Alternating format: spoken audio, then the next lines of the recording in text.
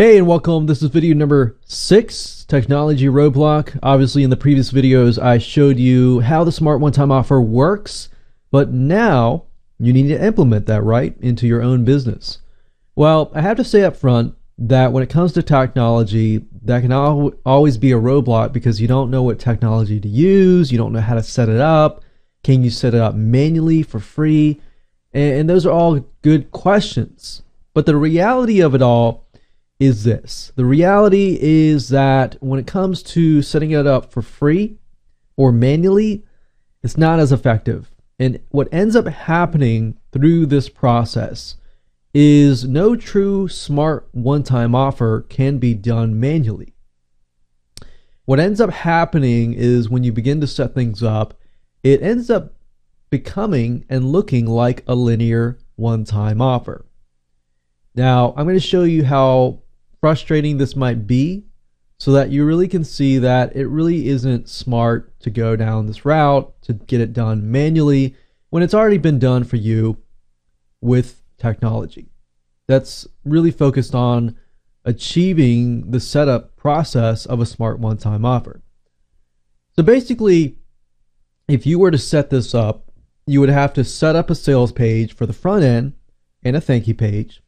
And then let's say for example you're using PayPal, you would have to redirect them to the thank you page, which would be the one-time offer number, let's say 1A. So we have two different routes, 1A, 1B. You send them to 1A, and if they say no, you know, you could offer them a different offer. You could offer them 1B. If they say yes and they actually purchase it, then you basically have to set up so that the thank you page next is the one time offer number 2A, premium. If they say no, then they are sent elsewhere. And if they say yes to one time offer 1B, and, and if this none of this is making sense, just hold on a minute. You send them to 1B, the thank you page directs to to be premium. so at this point in time, you're probably looking at this like, I am frustrated. I do not know exactly how to do this. And this is really what I wanted to show you. I wanted to show you and be upfront with you that setting up a smart one time offer is complicated. And not only complicated, when it comes to list building, if you do it manually, there's really no way to get people onto your list automatically what happens is you have to ask for their email address later on, and it just gets complicated. There's actually a simpler route to go. Now let's talk about the paid routes. Now, if you're trying to do this on a budget, I will show you how to do this on a budget. JVZoo can do this, but they can't really do pre-sale bumps, which I'm going to talk about in video number nine. And another site, another online shopping cart is called Zaxaa.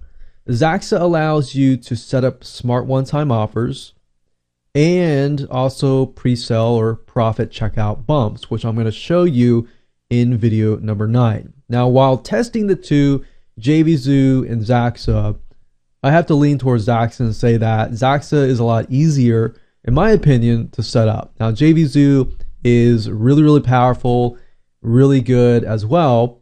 So it has a lot of benefits as well. So you really have to pick and choose and see what is good for you. But in my opinion, through testing this over and over again, I found that when it comes to Zaxaa, they've built it so that you can have different options. You can set up linear one time offers if you want to do so, but they've also set it up so that you can set up smart one time offers as well. And it's really, really easy to do. And I'll show you in just a minute. Second of all, you're going to need GetResponse or Aweber for list building. So you need to have some sort of autoresponder service that you can integrate into JVZoo and Zaxaa. They both integrate into GetResponse, and you can they both integrate into all sorts of autoresponder series. Now, with Zaxaa, it's super easy. I'm going to show you that in this particular video series. I'm going to focus on that because they primarily make it so easy for you to set up. Now, the benefits and disadvantages JVZoo does charge you a fee on top of your payment processor fees. So, for example, JVZoo you can start out for free, Zaxaa you can as well. But keep in mind, don't be thrown off. Zaxaa does have a monthly and yearly fee for their premium features. But you pay a yearly fee or you pay a monthly fee and they waive all the fees. Now, with JVZoo, they have a lot of benefits, but let's say, for example, that you make a thousand dollars in revenue. You're going to have to pay PayPal fees plus JVZoo fees, which I believe is about 5% or somewhere around that number. So you're paying 5% plus PayPal fees, which is about 2.9%. So you're essentially paying about 7 point something percent. With Zaxaa, if you pay the monthly or yearly fee, they waive all fees, which means you end up only paying the payment processor fee. So as you grow as a company, like let's say for example, within the whole year you've made first year you've made let's let's put a low number like 10,000. 10,000 times 7.9% is what you would have to pay out in fees if you went the route with JVZoo. If you went with Zaxaa, you would only pay the yearly fee and plus the PayPal fee. They would not charge you any fees. And that's personally what I've liked about Zaxaa. And then they're very, very powerful. They're always adding features and stuff like that. Now, with that said, you can make your own decision. I wanted to offer that so you can make your own decision, go out there and take action. So in this particular video series, I'm going to focus on Zaxaa. So I'm going to head on over there now and I'm going to show you how to set up the smart one-time offers. It's super easy to do. It's only going to take you about five, ten minutes. All right,